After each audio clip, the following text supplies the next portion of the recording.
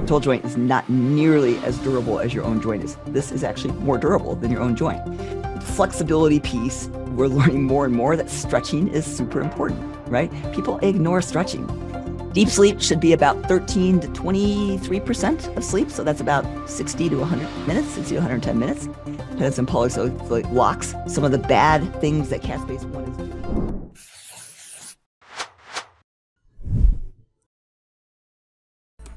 Welcome to our Q&A highlights. Q&A sessions are recorded every month, and our enhanced members get an exclusive opportunity to ask questions from one of cellular medicine's brightest minds, Dr. Elizabeth Yurth. Get a chance to ask your questions by becoming our enhanced member at bli.academy/memberships.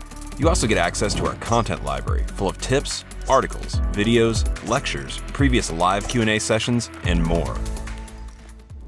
Flexibility piece we're learning more and more that stretching is super important, right? People ignore stretching.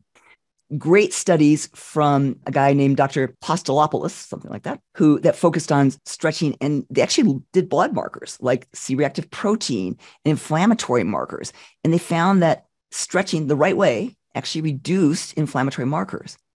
And then a study that came out in 2018, it was in a, in a mouse model, and they looked at breast cancer in mice and just by doing flexibility, I don't know how you work on flexibility in a mouse, but they did flexibility with these mice. They actually markedly reduced tumor growth, probably because of the reduction in inflammatory cytokines. They also saw high levels of upregulation by doing stretching.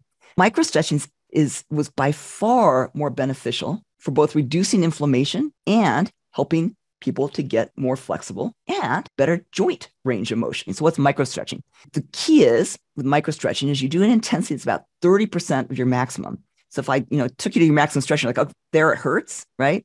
Okay, that's my maximum stretch. I'm in pain right there. And usually stretching has been geared to holding at that site of pain, right? Or even trying to push a little beyond that site of pain. Microstretching says back off 70% from that. All right. So you're to 30 to 40% of your maximum perceived stretch. It's a very light stretch. It's a very light, gentle stretch. And you hold that for 60 seconds. And you repeat that three times per muscle. So my hamstring, my quad, my pecs, whatever it might be. So, what is the optimal sleep time?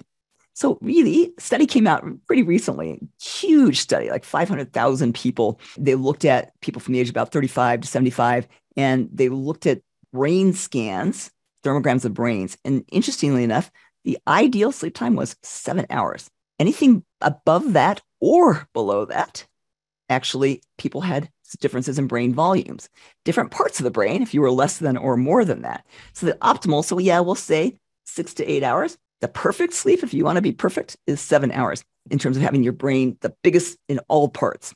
We know that REM sleep is really important. That's your that's the time when you're dreaming it's probably equally important to deep sleep. It should be about 20% of your sleep. So if you're sleeping eight hours, it's about one to two hours of REM sleep. Deep sleep should be about 13 to 23% of sleep. So that's about 60 to 100 minutes, 60 to 110 minutes. That's when your memories are consolidated. It's when your brain cleans everything out. So that's a really important for dementia prevention. That's your lymphatic system is turned on, your the toxins leave your brain during REM sleep. So that's a really, really, really important sleep for preventing dementia. Um, a group out of Duke University developed this very cool sort of water based gel that replaces cartilage. It, it acts, acts like cartilage. So you can actually, it looks like a, a little piece of cartilage and you have a little, a little metal piece that you can put into the bone. You can just tack it onto the bone. Um, and it, it's made out of these cellulose fibers. They're infused with some polymers and it makes a really viscous goo with a bunch of, of sort of stringy chains that form a gel. And even though it's 60% water and it's like size of a quarter, it's pretty small. It bears the weight of, you know, you can drop 100 pound kettlebell on it from from a height and do nothing to the cartilage. And when they stretched it, the cartilage, it actually pulled back together, it squeezed back together. So these negative charged particles cause it to sort of rebound back together. So in one of the studies they did, they, they just kept pulling out like 100,000 times. It did nothing to this. In fact, it was it was significantly more sturdy than your cartilage. So much, much, much better at withstanding forces than your own cartilage is which you can't say about a total joint. total joint is not nearly as durable as your own joint is. This is actually more durable than your own joint. So they also found, interestingly enough, that it was resistant to kind of um, being sort of torn or dislodged. So it's cool because certainly we do see people who are they just are bone on bone and there's mechanical reasons for some of their pain then so i do think this is really going to be a nice option and it looks like it may be to market maybe by the end of 2023 they're already starting human trials on it so this is interesting but remember, Dimitri, that it doesn't address why you developed the arthritis in the first place. It does not address that this is an inflammatory disease. So if I fix the little piece of medial cartilage on the medial side of your knee, what's going on with the lateral side and the other knee and your hip? This still is an inflammatory disease. So I, I think you have to do this hand in hand with treating the disease using things like pentosan polysulfate and other things that we can to treat the disease process. Or this is a temporizing measure. You're just going to tailspin now. Uh, naps are actually a good thing but they don't really count to that restorative sleep because you can't get into these deep REM sleep states when you're napping so much. And it appears that the optimal time for a nap is about 20 minutes. And beyond that, they probably make you a little groggy or they disturb nighttime sleep.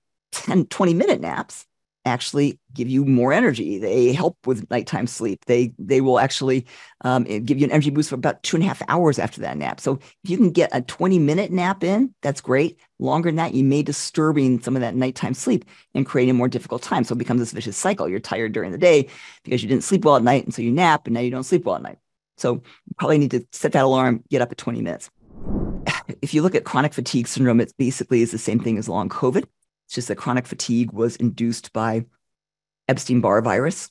Long COVID is being induced by COVID infections, but they all create similar pathologies vascular dysfunction, uh, fatigue, all those same things we're seeing. And, and again, we've talked about these being mitochondrial damaging diseases.